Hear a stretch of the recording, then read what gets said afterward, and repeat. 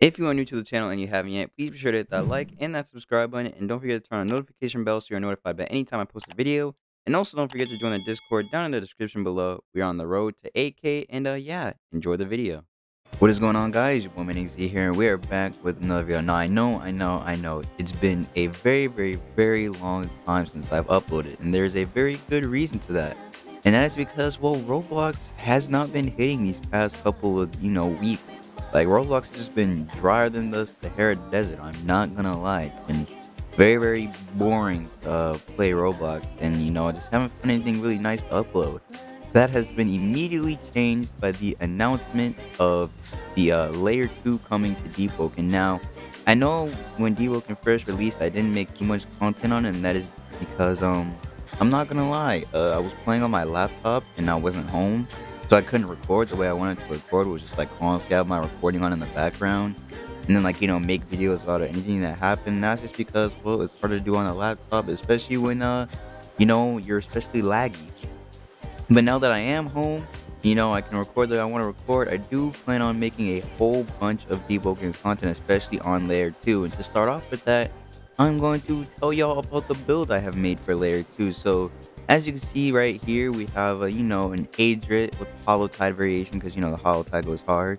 And as you can obviously see, I am a Blind Seer Uh, because, uh, you know, I, I have a... I like I like flame a lot. I'm not gonna lie. Flame is probably like one of my favorite elements in like aspects of like any game or just all around. I do like flame, so I decided to go blue flame with this build. And also, when it comes to Deepwoken, Blue Flame is a very, very good PvE slash PvP thing. Like, it, it's a good all around for both. Now, for when it comes to Layer 2, there's going to be a whole lot of new mobs and things to fight. Stuff like that.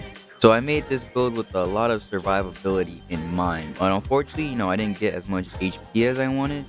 But uh, you know, where it's, it's mostly the the quirks and stuff that come with this build that uh make it, you know, nice and survivable. But as you can see, like I said, bottom you can see I have all the my flame skills. What would have made it better is if I did has if I did have Master's Flourish, which unfortunately I did not get.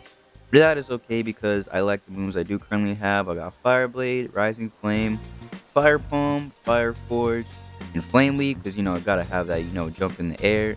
And then also have Flame Wisp, and obviously you gotta have Graceful Flame. And if you make a flame build and you don't have Graceful Flame, then something is just wrong with you. And uh, as you can see, I luckily got the Blazing Enchant, which just makes this build even better. Because, uh, you know, Flame, Flame Attunement, Flame, you know, uh, Blessing, not Blessing, uh, Enchantment. So, uh, you know, it just goes really, really nice with the build. Now, one of the first things to go on with this is the fact that I went Blue Flame and I got the uh, talent called Phoenix Flames. Now, if you don't know what the talent Phoenix Flames is, it basically allows you to basically revive if you are knocked on fire. Actually, let me just pop a graceful flame real quick so I can show you all like my talents and things like that. So boom, pop this and sit down and we can go through my talents. We go down here and uh, as you see with Phoenix Flames, you uh, anytime you would burn to death, you instead gain you, you instead rise and gain 50% of your health restored and has a 60 second cooldown, which actually isn't that bad because uh, 50% HP, if you can't survive one minute with a half your HP, then uh, I don't know, man. Too bad you do have to go with agitating spark, so it does, you know, kind of hurt your teammates just a little bit, but you know, a little fire, you know, doesn't hurt your teammates just a little bit. Uh, too bad. And then you also have to go with immolation in order to get Phoenix Flames, but that is another one of the things that helps us go with survivability.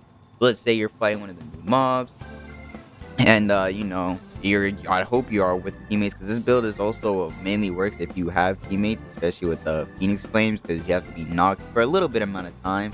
I wish i got the talent perseverance because it does allow you to uh, get up slightly faster but uh, unfortunately i did not get perseverance. But uh you know let's say you're fighting one of the new mobs get knocked have your teammates distract them for a little bit and you get back up or you can light yourself on fire because i also did get flame within which is literally just a free way to just uh, light yourself on fire.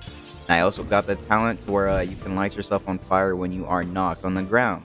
So boom you get knocked light yourself on fire get back up boom you have half hp another thing i also got is uh flame of denial which is another way to like prevent yourself from uh getting knocked as fast. I just messed up the code but uh, yeah that's another way to help yourself from not getting knocked. It's a, it's a good way to keep yourself alive, have more survivability when it comes to layer 2 and the new mobs and fighting and stuff like that. And uh, yeah, now the last thing to help this build revive with revivability, or survivability I mean, but basically just a revive is my bell. I do have the resurrection bell. As you see, boom, put on yourself and as the name entails, you can revive yourself as you get knocked. You can do this little animation, you get back up, and uh yeah. So basically there's three ways of preventing yourself from like getting fully fully dead is uh the revival bell, then you have flame of denial, and then you also have the phoenix flames which allows you to get up. Now the main thing that I was mainly going for was uh having both the resurrection bell and um Phoenix Flames. Having Flame of Denial was an extra good thing that I got along with it. But um the main things that I was comboing was Phoenix Flames and the Resurrection Bell because you can uh, just loop it. Like yeah, like I like I said, the uh, the Phoenix Flames has a one minute cooldown. So let's say you get knocked, you Phoenix Flame revive, and you know you survive for a little bit and if you were to happen to so get knocked again or about to get knocked, you can pop the revive bell and you know revive like that. And then if you somehow manage to get knocked the third time, by then your Phoenix Flame should be off cooldown so you could just then revive with Phoenix Flames again. No, I'm not going to lie. I did get most of this inspiration from this build off the Punchy video. Shout out to the homie Punchy. This uh this is where I got the inspiration from this build and stuff like that. The, the Phoenix Flames build.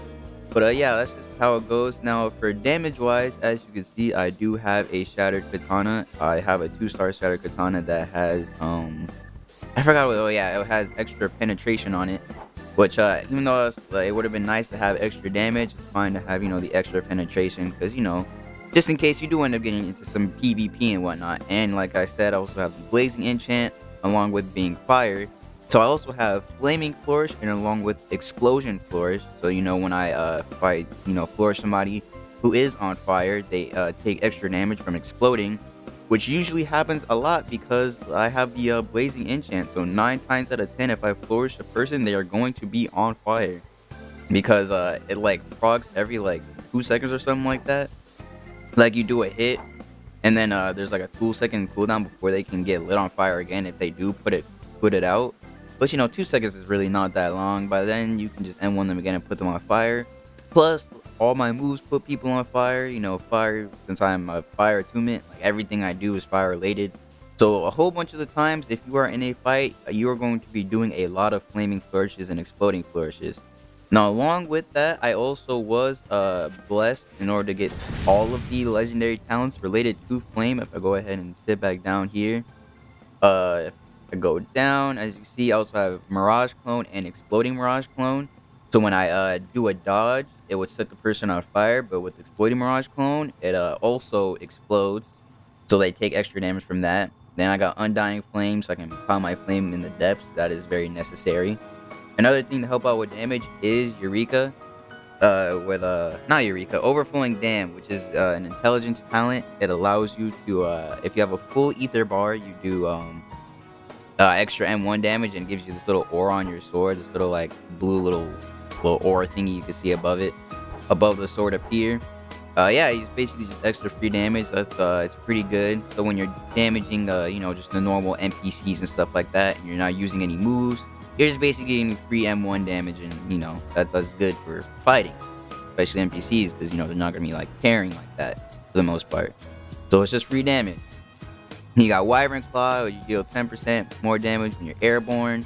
So if I use something like Rising Flame and I hit in the air, uh, I'll do extra damage for anything I do in the air. Along with that, I got Meteor Impact, Phoenix Impact. So where if you are on fire and you you know do Meteor Impact after you do Rising Flame, you heal off of it, which is nice. I got Fishman, uh, you heal more in water, which honestly I should have went with like the running one get Condition Runner, but you know it's fine. It's still extra HP. I uh and uh, yeah, if I go over to the summary, as you can see, these are my stats. Like I said, I wish I had more HP. I could get some more HP with uh, more equipment bonuses. Uh, talent bonuses and provide with 113. I just need a bit more better equipment, and I wish I had a slight bit more ether, but I do have a lot of reservoir and a lot of sanity, but that's just because I have a lot of willpower. And uh, my posture, you know, isn't also the best, but you know, it's okay. Like I said, this build is still good for survivability, just the fact that you have so many ways to prevent yourself from dying, and you can also revive. And then, uh, yeah, neuroplasty is just, you know, if I want to edit my mantras, it doesn't take as much ether, so that's also not bad. And uh, yeah, this is basically the build I plan on going with layer 2. These are all the talents if you want to, you know, slow down the, the, the video and see them all. I'll go down slowly. Oh, oops. Hold on. Let me uh redo that real quick because uh, my Graceful Flame ran out. Up that. Boom. Go down here again. I'll just scroll slowly. And if you want to slow down the video even more to see all the talents I have, you can go ahead and do that. And then, yeah, this is basically the build I plan on going for for layer 2. Uh, I do plan on making some other builds. I do have this uh, chilling rapier in my inventory, so I want to make an ice build with this chilling rapier. Because uh, I feel like that'd be pretty cool, but I it's mostly going to be like PvP related rather than PvE. And then I have another fire build in mind, but uh, that's that's for my like my own thing. You know, I'm probably not going to be using that much for layer 2. I just want to make it because it seemed cool. But uh, yeah, this, this build cool. I like it. I like it a lot, especially the fact that I got this uh, blazing enchant to go along with it. The whole like fire aspect, you know, getting the fire enchant and whatnot. And uh, for my uh, my my stats, these are my stats right here. I forgot to show those completely.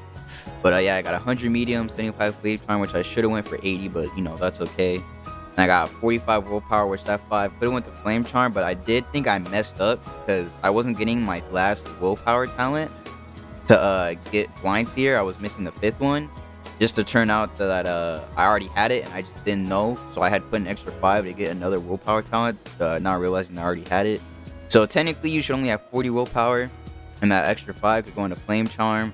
Then you need a uh, 40 intelligence for overflowing dam. Agility, I just you know had some just to have some, but you could put like the extra agility into other stats. 30 fortitude just to have some fortitude and 20 strength just to have some strength. But you could realign those however you want.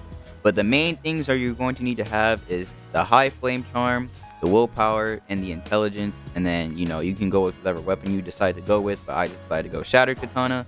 But the main things you're going to need is, like I said, the Phoenix Flame, the Resurrection Bell, which is a common, so it's not that hard to get, especially because, you know, you can reroll and stuff like that. So the Resurrection Bell, the Phoenix Flames, which is a legendary, which you need to get Agitating Spark, and then Immolation, and then you can, you know, get the talent, Phoenix Flames. And then if you can get Flame of Denial, then do also get Flame of Denial, because that also helps a lot as well. But yeah, this is the build I'm going to be exploring Layer 2 with, you know, with the homies. Hopefully you guys tune into all that content, because it's going to be really, really fun. At least I hope it's going to be really, really fun, because uh, Layer 2 would seem like it's going to be pretty crazy, I'm not going to lie. But uh, yeah, it's been your boy Mainexz. It's been, you know, my Deepwoken build layer two. I think it's gonna be really, really good for uh, you know, keep myself alive. Along with that, you know, just in case my other teammates get, you know, close to dying, the resurrection bell can help them out too. So yeah, other than that, it's been your boy, and uh, I'll catch y'all when uh layer two drops probably. Peace. I'll be right. I really don't like. I'll be right, right. I'll be right. I really don't like. I'll be right, right. I'll be right.